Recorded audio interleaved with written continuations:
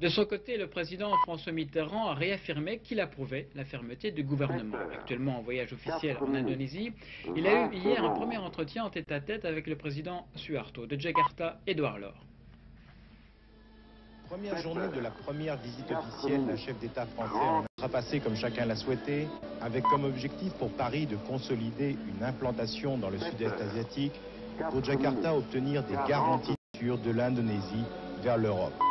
Seul point éventuel de discordance, la politique nucléaire française, les essais nucléaires précis, François Mitterrand aura été ce soir face à son hôte tout à fait clair. Nous sommes décidés à maintenir cette force de dissuasion par les modernisations appropriées. Cependant, dans cette motions engagées sur la réduction de tous les armements produisent des résultats concrets. Tout le monde trouvera son compte à ce que l'équilibre des forces indispensables à la sécurité générale s'établisse au niveau le plus bas possible.